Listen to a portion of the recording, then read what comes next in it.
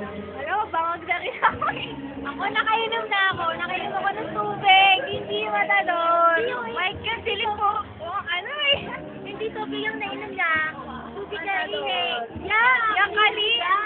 So, kaya may swimming pool doon kasi paano maihi. Ibig ko sa KFC, solid. Walang McDo yan ah.